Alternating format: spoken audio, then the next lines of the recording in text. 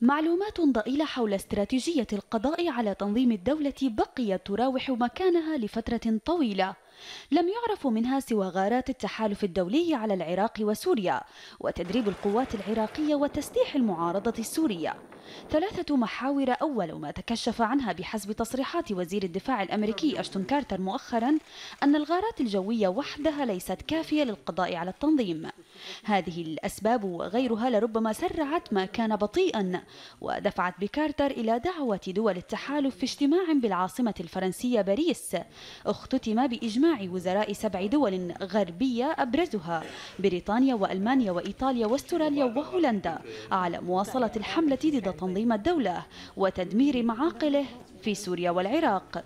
فيما انتقدت كل من فرنسا والولايات المتحدة على لسان وزراء دفاعها استهداف روسيا المعارضة السورية بدلا من التركيز على استهداف مقرات التنظيم.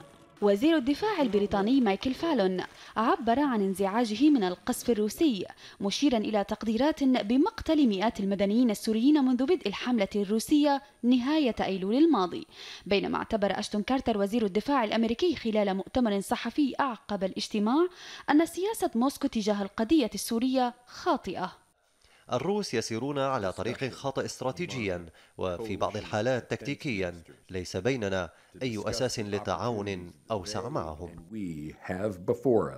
من جانبه دعا وزير الدفاع الفرنسي جان لودريان روسيا إلى وقف استهداف مواقع فصائل المعارضة التي تقاتل بدورها تنظيم الدولة على الأرض. روسيا تلعب دورا مهما في الملف السوري. نحن نقدر هذا ونرغب بأن تركز جهودها على داعش وتتوقف عن ضرب المجموعات التي تقاتل هذا التنظيم.